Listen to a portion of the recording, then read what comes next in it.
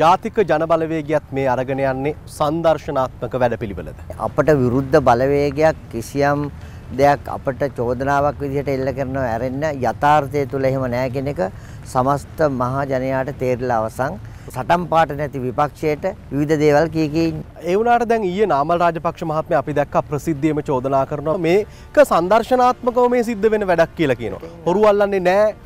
කෝ අල්ලපු හොරු කියලා අහනවා.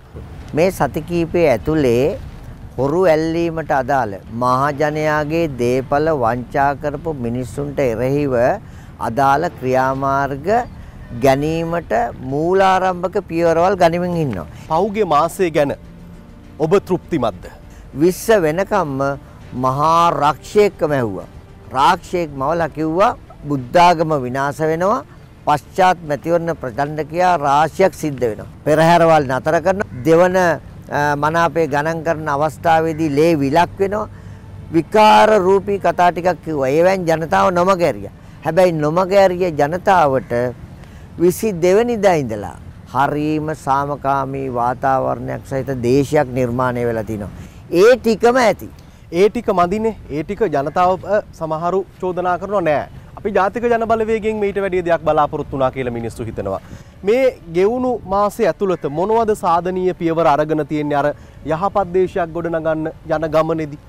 මීට කලින් ජනාධිපතිවරු 8 දෙනෙක් හිටියා. ඒ 8 දෙනාගේ හැසිරීමයි මේ නමෝන ජනාධිපතිවරයාගේ හැසිරීමයි අරගෙන බලන්න. ඒ ජනාධිපතිවරු ඔක්කොම හිටියේ ආණ්ඩුක්‍රම ව්‍යවස්ථාව පස්සට තියලා වාඩි අපේ රටේ ජනාධිපතිවරයෙක් ප්‍රථම වතාවට නිර්මාණය වෙලා තිනවා ආණ්ඩුක්‍රම ව්‍යවස්ථාවට යටින් සිටින්. එනයින්ම ඒ ආදර්ශය දෙමින් පවතිනවා. ඒකම මදිද ඔයාලට? ඔබතුමාලා මෙවල මහමැතිවරණයට මනාප ඉල්ලන්නේ නැද්ද? මනාප ව්‍යවස්ථානුකූලව ඉල්ලන්න වෙනවනේ. ඒ බලය ගන්න පුළුවන් මෙවර පාර්ලිමේන්තු මැතිවරණේ. කෝ විපක්ෂයක්. ඡන්ද කැම්පේන්යක් ඔයාලට පේනවද? දැන් මේ ජාතික ජනබලවේගේ අපේක්ෂකයින් ගත්තොත් එහෙම වංචාවෙන් දූෂණයෙන් තොර පිරිසක් ඔබතුමාලට මෙවර අපේක්ෂක ලයිස්තුවට ඇතුළත් කරගන්න පුළුවන් වෙලා තියෙනවද? ඔබ අහලා තියෙනවද එකදු හෝ අපේක්ෂකෙක්ගේ අඳෝනාවක්, චෝදනාවක් එහෙම නැති එකම අපේක්ෂක කණ්ඩායම ඉන්නේ ජාතික ජනබලවේගයට විතරයි.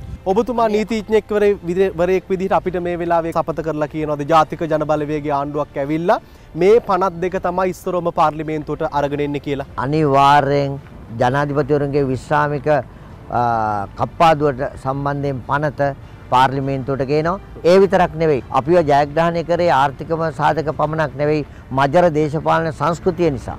මජර දේශපාලන සංස්කෘතිය උපදින්නේ മന്ത്രി වෙන්දේසි. තේරුණාද?